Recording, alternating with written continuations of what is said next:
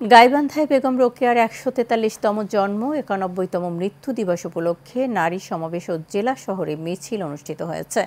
গাইবান্ধা নারী মুক্তি জেলা শাখার উদ্যোগে সকালে পৌর শহীদ মিনার পার্কে এ আয়োজন করা হয়।